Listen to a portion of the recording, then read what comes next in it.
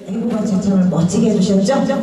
성악가 조배나 학과장님에서 교수님 신입생님 나오세요. 어. 성악과 아, 이렇게 관심 있게 여러분들 성원하에 우리 또 아, 전문 조교반 아, 입학 학생들입니다. 우리 신연주 학생과 우리 김상일 학생.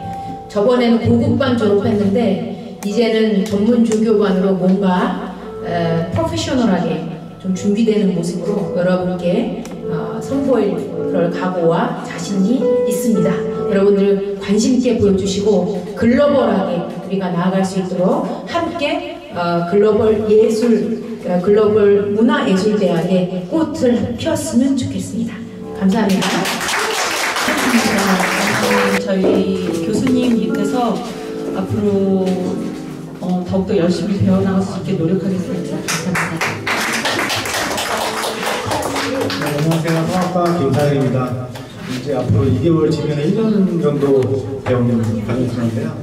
참 되게 짧기도 하고 또 길기도 하고 한 시간이 왔는데 이번에 마지막 1년 졸업식 때 또 좋은 모습으로 찾아, 찾아뵙겠습니다. 감사합니다.